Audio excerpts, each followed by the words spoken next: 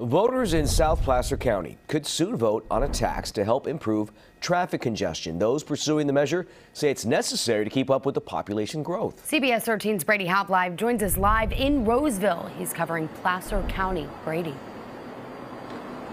Yeah, that's right, guys. Placer County is one of the fastest growing counties in the state. And with all of that growth comes a lot of traffic, particularly on I 80. So this tax measure would help alleviate some of the congestion there and a whole lot more. In my teens, we're probably 20,000 people in Roseville. Yeah. So it's almost 150,000 now. Longtime Roseville resident Scott Singley has seen Roseville's growth firsthand. More people, traffic, everything.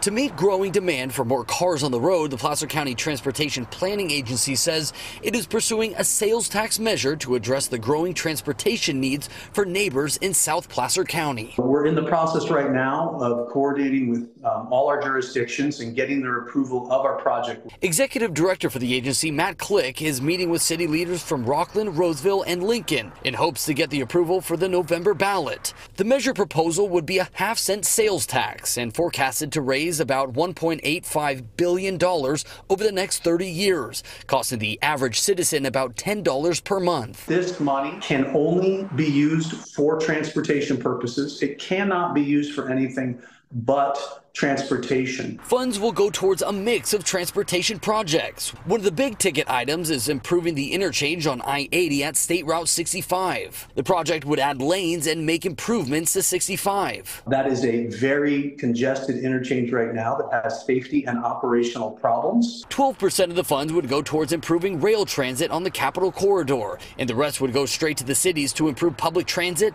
bike and walking trails, and pothole repairs whatever they need to do to improve their local transportation system, they can do with that new added revenue. South Placer County, among the fastest growing counties in the state, has mostly families relocating from places like Los Angeles and the Bay Area. While Singley doesn't want to see his taxes go up, he says it may be needed to keep up with growth. I think it's a good idea. I mean, I don't like seeing an increase in my taxes, but, you know, it's needed.